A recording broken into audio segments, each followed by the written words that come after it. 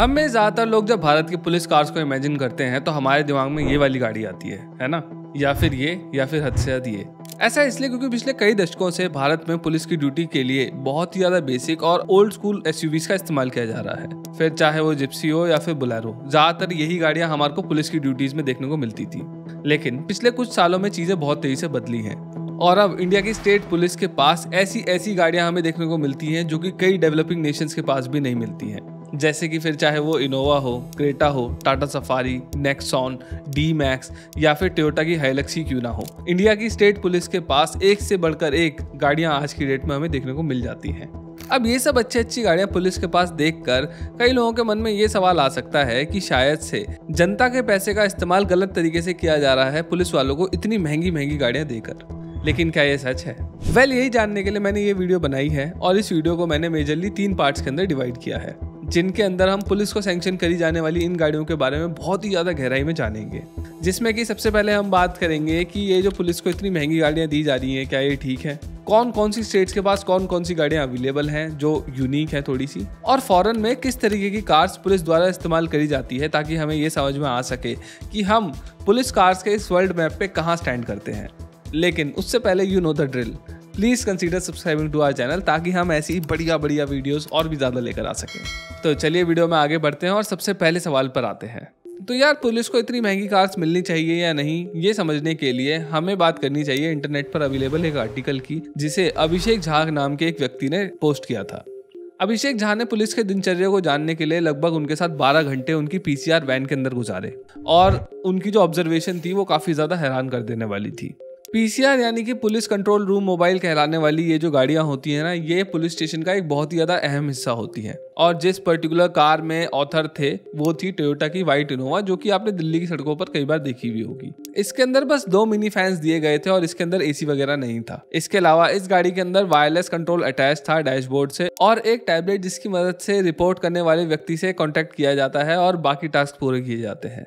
Author के मुताबिक police की इन गाड़ियों के अंदर 10 से 12 घंटे बिताना बहुत ही ज़्यादा मुश्किल होता है। इतना मुश्किल कि ऑन ड्यूटी कांस्टेबल के मुताबिक पुलिस की ड्यूटी इतनी ज़्यादा मुश्किल होती है कि कई बार तो ऐसा होता है कि घर जाने के बाद रोटी खाने का मन भी नहीं करता है और ये उन कांस्टेबल की ज़ुबान थी।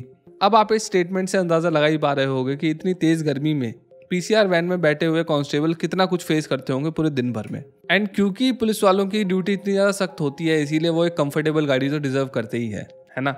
अगर हम भारत से बाहर निकल के दुनिया के कुछ उन देशों की बात करें जिनका लॉ एंड ऑर्डर हमारे देश से भी ज़्यादा मज़बूत है तो हमें ये पता लगता है कि पुलिस फोर्स पर बहुत ही ज़्यादा पैसा खर्च किया जाता है बाहर के देशों में। फॉर एग्ज़ाम्पल यूएस ने पुलिस फोर्स के ऊपर 2018 में 118 बिलियन डॉलर्स खर्च करे थे। और अगर हम इसे कंपैरिजन से समझें तो ये इतना पैसा है जितना दुनिया की तीसरी सबसे बड़ी मिलिट्री फोर्स का बजट होता है।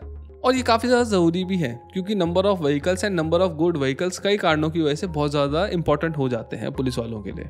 ऐसा नहीं है कि पुलिस वालों की गाड़ियाँ तेज हैं तो सिर्फ़ वो जी टी ए फाइव जैसे पुलिस चेस के अंदर ही काम आएँगी। एक तेज कार जो होती है ना, वो पुलिस के रिस्पॉन्स टाइम को कम करने में भी बहुत ही ज़्यादा हेल्प करती है। क्योंकि अगर पुलिस मौका वारदात पे ही लेट पहुंचेगी तो उसके वहाँ पर आने का फ़ायदा ही क्या है? ऐसे में एक तेज और रिलायबल गाड़ी पुलिस वालों के पास होना बहुत ज़्यादा ज़रूरी हो जाता है। और जैसा हमने पहले जाना कि पुलिस वाले बहुत ही ज़्यादा लंबे समय तक पेट्रोलिंग वगैरह करते हैं अपनी गाड़ियों के अंदर और बहुत ज़्यादा टाइम स्पेंड करते हैं। इसीलिए उनके लिए कंफर्टेबल और एक सेफ़ गाड़ी होना भी ज़्यादा ज़रूरी होता है काफ़ी। Because no amount of money is equal to the life lost on the field और यही रीज़न है जिसकी वजह से हमारे देश के अंदर भी तेज़ रिलायबल और कंफर्टेबल गाड़ियों की ज़रूरत है, जो कि रिस्पॉन्स टाइम को कम करें और सस्पेक्ट को भी सेफली वापस लेकर आने में मदद कर पाएँ।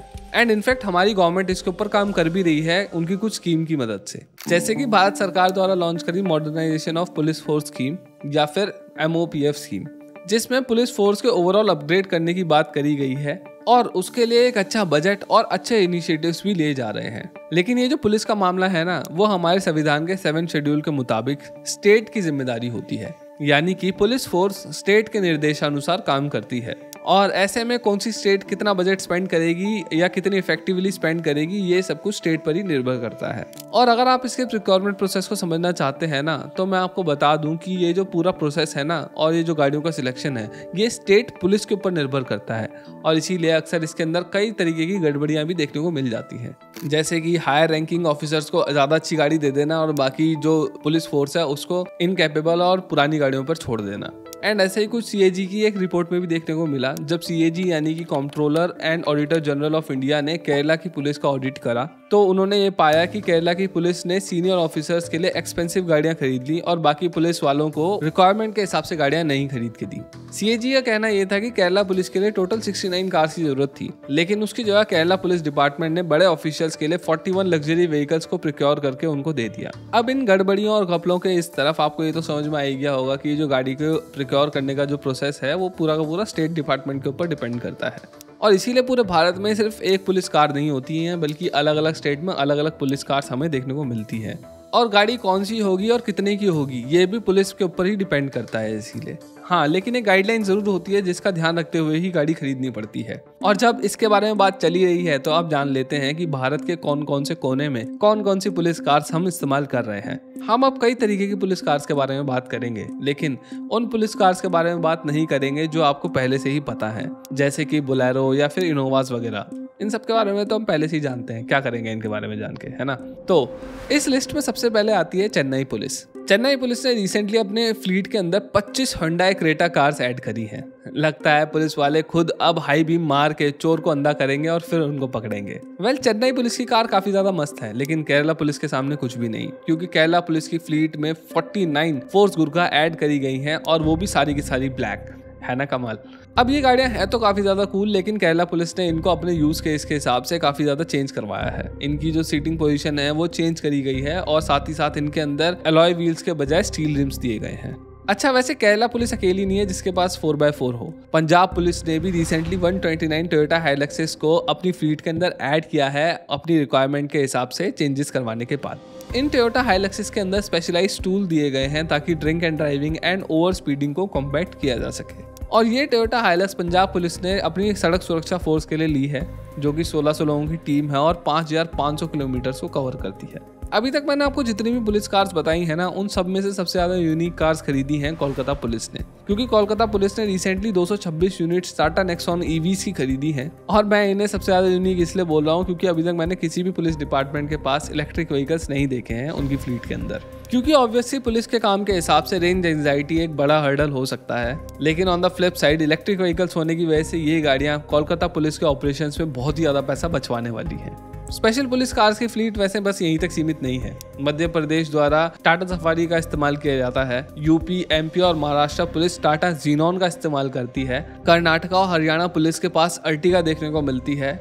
और महिंद्रा स्कॉर्पियो तो पूरे इंडिया के अंदर ही कई राज्यों के पास देखने को मिल जाती है।